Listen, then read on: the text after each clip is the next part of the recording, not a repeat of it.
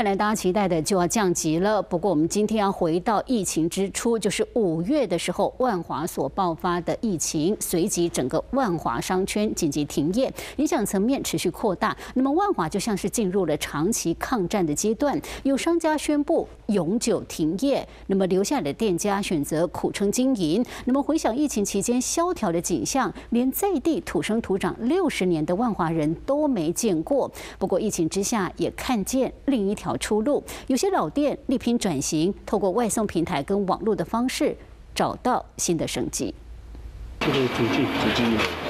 确认数量、时间和地址，传承到第三代的青草茶店，打破等待的常规。父子俩在疫情期间，要让青草茶也能送到顾客手中。有些老客他就是长期需要。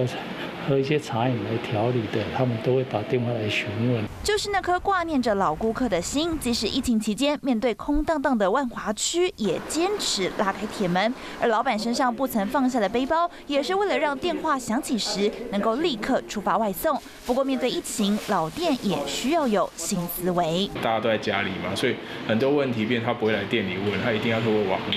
那可能问我们价钱啊，或者是问哎调理可不可以用哪些草。五月疫情大爆发，没有人能想到小小一条街的群聚感染事件，影响力却扩及整个商圈。可以说万华从来没有这样过。我也跟他们讲。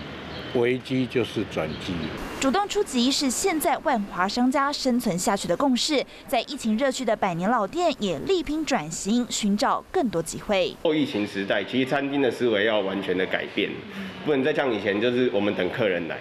有过 SARS 的经验，第一时间立刻宣布停业的老店，店休了一个半月，直到七月才迎接客人。但是危机似乎也成了新的转机，万华区的商圈开始有不一样的思维。经过疫情洗礼的万华，或许需要时间重整脚步，但也让外界更期待重生后的样貌。华新闻，罗大伟台北报道。